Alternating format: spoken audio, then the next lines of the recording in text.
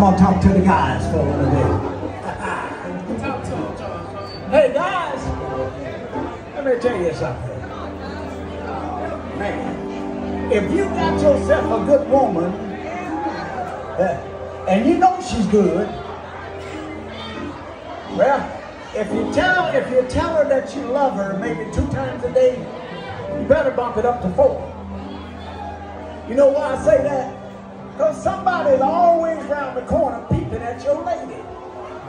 Because they know she's good. So if you tell her two times that, baby, I love you.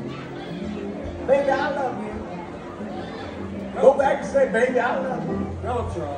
And baby, I love you. And ain't nobody gonna be good to you like me.